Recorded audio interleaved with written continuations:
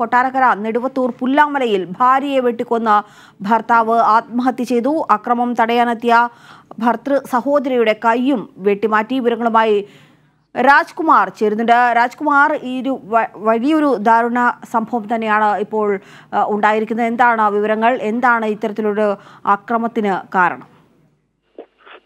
ഇയാൾ ഈ ഭാര്യയുമായി അകന്ന് ജീവിക്കുകയായിരുന്നു.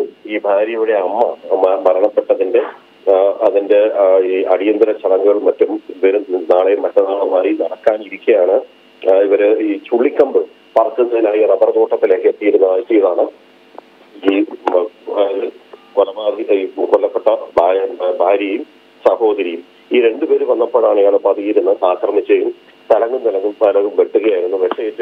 ആ, നെട്ട് കെട്ടിക്കൊണ്ടിരിക്കുന്ന സമയത്ത് സഹോദരി തടസ്സം പിടിച്ചു. സഹോദരിയുടെ കൈക്കും ഗുരുതരമായി പരിക്കേറ്റിട്ടുണ്ട്.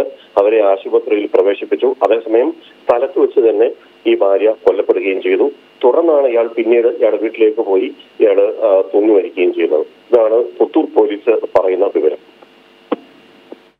ശരി രാജ്കുമാറാണ് വിവരങ്ങൾ നൽകിയത്. കൊട്ടാരക്കര നെടുവത്തൂരിലാണ് പുല്ലാമലയിൽ ഭാര്യയെ വെട്ടിക്കുന്ന ഭർത്താവ് ആത്മഹത്യ ചെയ്തത്. ഈ കൊലപാതകം അക്രമം തടയാനെത്തിയ ഭർത്തൃ സഹോദരിയുടെ കൈയും ഇയാൾ വെട്ടിമാറ്റിയിരുന്നു. വിവരങ്ങളാണ് കൊല്ലത്തുനിന്നും രാജ്കുമാർ നൽകിയത്.